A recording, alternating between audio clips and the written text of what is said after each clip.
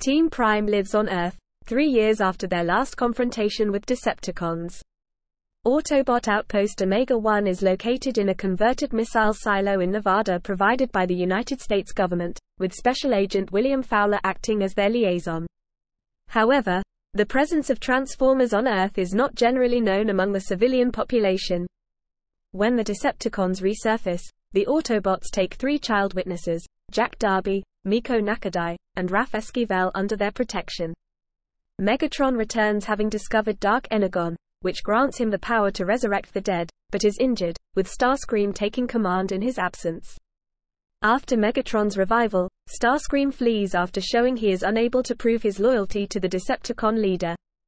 The Autobots and Decepticons eventually make the startling discovery that Earth is the body of Unicron, forcing them to ally and prevent his consciousness from reasserting control over the planet.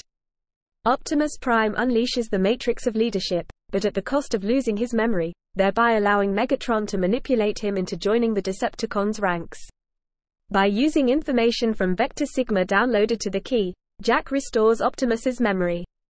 The Autobots also contend with the human terrorist organization, MECH, headed by former military operative Leland Bishop, aka Silas, who targets the Cybertronians for their technology, capturing Breakdown, Bumblebee, and Starscream for parts, and building a doppelganger controlled by Silas.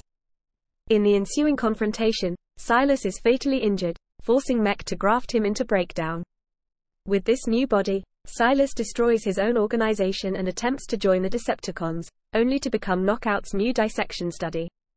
The Autobots and Decepticons struggle becomes a competition for Cybertronian artifacts strewn across the planet, which turn out to have been placed there by Alpha Trion, who foresaw the Autobots coming to Earth.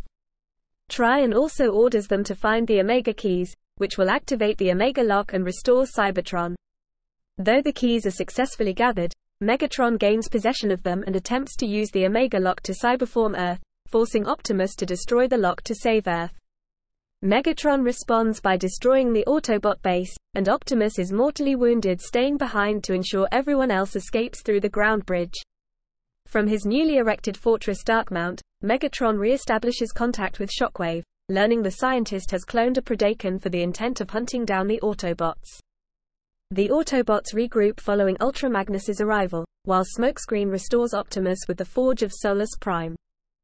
After destroying Darkmount, the status quo is restored, with the Autobots based at a Unit E facility, while the Decepticons retreat to orbit Earth in the Nemesis once more. The Autobots learn of Project Predacon and race the Decepticons for the location of Predacon fossils, to prevent Shockwave from cloning more of the beasts. Ultimately, Megatron manipulates the Autobots into destroying the project when he discovers Predaking is intelligent, and therefore a potential power rival.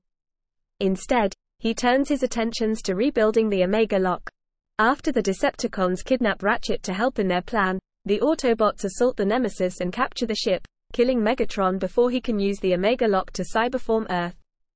The Autobots use the Omega Lock to restore Cybertron and settle back on their homeworld.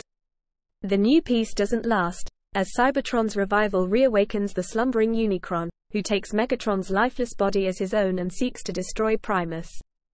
As Optimus retrieves the Allspark, Autobots, Decepticons, and Predacons unite under Bumblebee and Predaking to face the Chaos Bringer in defense of their home. Optimus sacrifices himself to seal away Unicron and restore the Allspark to its rightful place while Megatron disbands the Decepticons and goes into self-imposed exile.